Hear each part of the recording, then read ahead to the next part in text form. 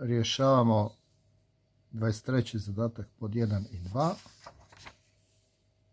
Probni ispit državne mature. 24. godina. Zadan je izraz. I sad kaže koliko iznosi vrijednost zadanog izraza ako je T4. Prvo ćemo riješiti ovaj po 2. Dakle, on ga kaže pojednostavite, skrati do kraja u stvari kaže. Imamo t na kvadrat plus 2t. To je prvi srednje lagan zadatak, to je za male bebe. 20t kroz t plus 2. Izlučimo zajednički faktor u ovom, u ovom brojniku. Pa imamo t puta t plus 2 kroz 16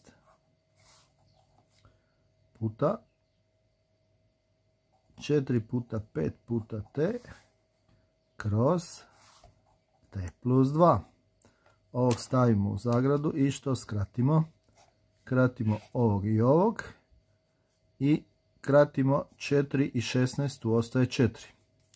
Pa smo dobili da je to jednako t puta 5 puta t kroz 4. To je 5 četvrtina t na kvadrat. Ok, možemo pisati 5t na kvadrat kroz 4. Mi ćemo napisati. Provjerili smo, to je ispalo dobro. Pa ovdje pišemo 5 četvrtina t na kvadrat ili 5t na kvadrat kroz 4. Oba dva su nam dobra. I to bi bilo to za ovaj zadatak.